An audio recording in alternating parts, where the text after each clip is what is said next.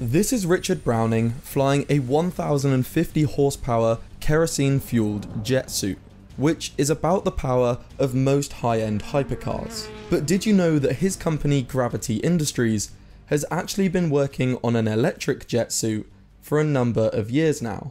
Gravity's original jet fueled powered suit has attracted a lot of attention online. With a top speed of 85 miles an hour and a flight time of 5 to 10 minutes, this original jet suit is being trialled for military operations and rescue missions.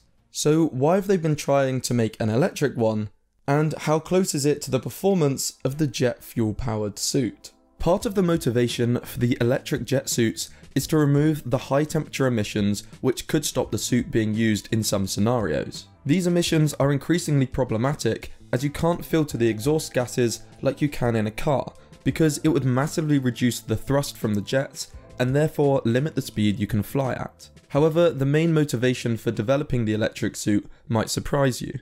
See, the gravity jet suit works by something called thrust vectoring, which in this case is a fancy way of saying you move your arms around to change direction. By adapting the angle of the jet engines, the pilot can therefore control their flight. This apparently provides a much more natural feeling than traditional jetpacks, and this is the reason they are instead called jet suits. However, this actually provides a problem that electric jet suits can fix. When learning to fly the jet suit, it is said to be quite difficult to control until something mentally clicks for the pilot.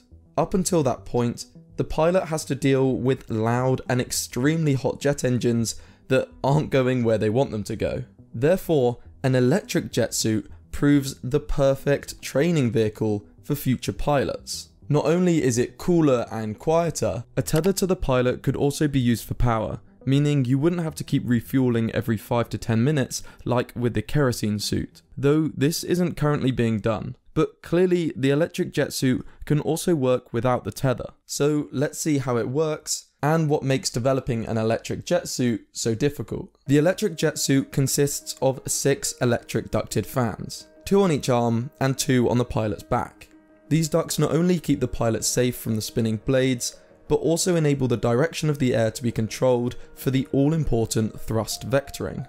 Additionally, because there isn't enough room for annoying small swirling vortices to develop at the tip of the spinning blades, the efficiency of electric ducted fans can also be considerably higher than a naked propeller. Each of these ducted fans use 16 kilowatts of power during flight, which gives the suit a total power of 96 kilowatts or 129 horsepower.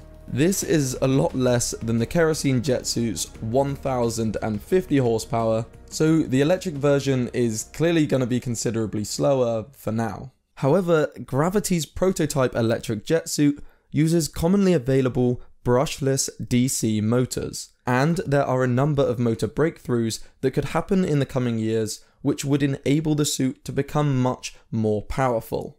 For me, the most interesting of these is superconducting electric motors, which cool the motor windings down to around 75 Kelvin, where certain materials no longer have any electrical resistance. This means that the electric motors become incredibly efficient, and motors like those in the jet suit could produce many times more power than is currently possible all without overheating. In fact, a European funded project is already developing a superconducting motor prototype aimed at electric flight. So make sure to subscribe for a future video covering that in more detail. The next part of the jet suit is the battery.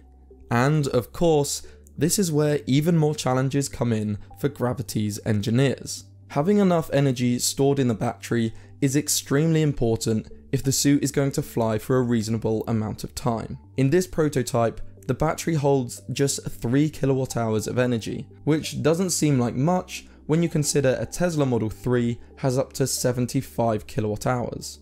However, the issue with adding more batteries is that you increase the size and weight of the jet suit, and until we have more powerful motors, this would likely cause issues when the pilot tries to take off. So this begs the question, how long can the electric jet suit actually fly for? We can do some basic calculations that say if we have 3 kilowatt hours of storage and we are using the maximum power of 96 kilowatts to fly, we should be able to fly for 0.03 hours or just under 2 minutes. However, the batteries have another irritating property that means getting this full 2 minutes of flight time is almost impossible. This irritating property is that when you draw current and therefore power from the battery, its voltage starts to drop due to the resistances within it. It is also worth noting that this is different to the gradual decrease in a battery's voltage as it discharges. This has a number of impacts, one of which is that eventually the voltage will drop so low that you won't be able to spin your electric fans fast enough to stay in the air. This phenomenon is known as voltage sag and has been a major challenge for Gravity's engineers. Initially, this effect was so bad, the first prototypes could only use around 12% of the battery's capacity before the suit shut down, resulting in a flight time of just 15 seconds. However, by reducing the resistance in the battery pack, they are now able to use around 40% of the battery's full capacity and flight times are now approaching 1 minute. This still clearly has a way to go before reaching the 5 to 10 minute flight times possible from the kerosene jet suit. However, we are also seeing many developments in battery technologies every year that will make the electric jet suit better and better. And for context as to what may be possible in the coming years, here is the original jet suit flying just 6 years ago. If you like this video, please like and subscribe, and check out this video on an insane nuclear fusion breakthrough.